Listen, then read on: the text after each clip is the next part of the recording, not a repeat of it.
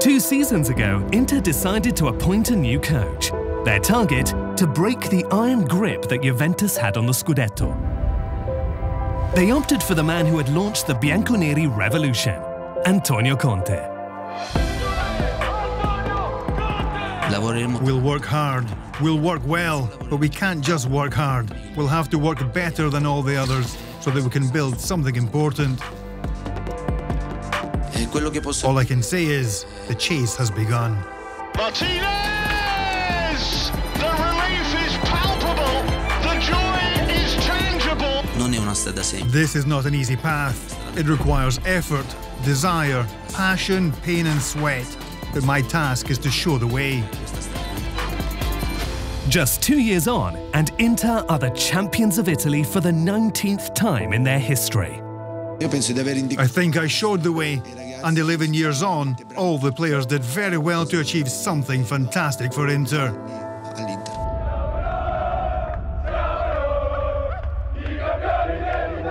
It's been an extraordinary campaign for Conte and his men.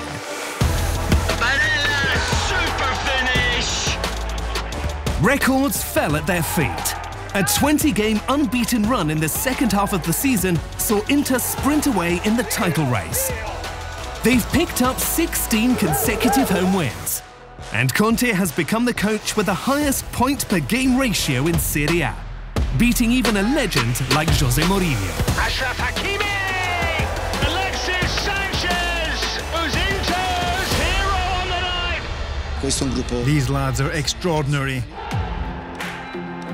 Every single player chose the group over himself, and I'll always thank them for this. The defence has been rock solid and has provided its fair share of goals. The midfield has matched experience with youth, some maturing into world-class players, others demonstrating perfect cool under pressure.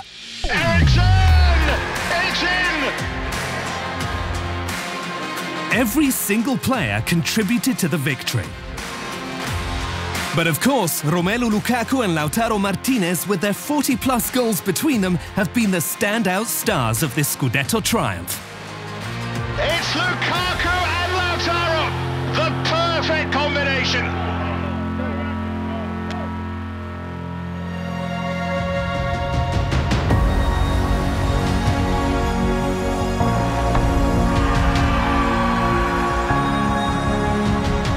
The end of the last match of the season against Udinese, the newly crowned champions were able at last to raise in triumph Italian football's greatest prize, the Scudetto. You have to win to write history for a club. We shared a dream to go down in Inter history.